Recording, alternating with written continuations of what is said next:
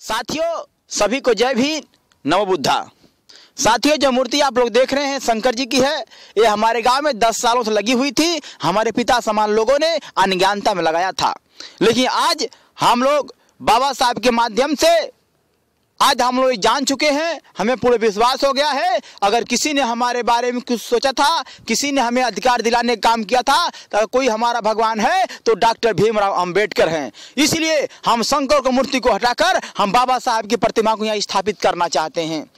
साथियों, हम आप लोगों से माफ़ी मांगते हैं कि हमें बाबा साहब के महानता के बारे में थोड़ा समझने में देर हो गई।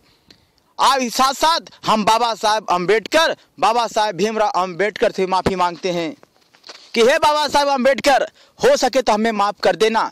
तेरे नाम पे तो हमने खाया पिया, तेरे नाम पे अच्छा घर मिल गया, अधिकार मिल गया, लेकिन तेरी मूर्ति की जगह हमने शंकर की मूर्ति लगा दी थी, इसीलिए हमको माफ़ कर देना। आज तक बाबा साहब, हमने भूल कर दिया था। लेकिन आज हम तेरी कसम खाते हैं, तेरे समाज कसम खाते हैं और तेरे उन आंसुओं कसम खाते हैं कि आज के बाद पूरी ज़िंदगी हम तेरे मिशन के लिए समर्पित करेंगे।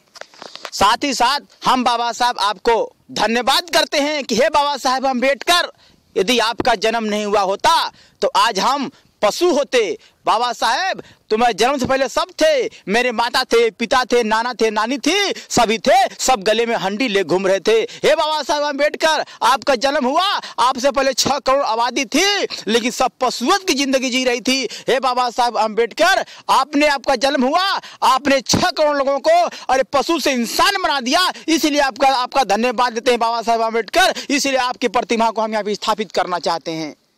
जय भीम।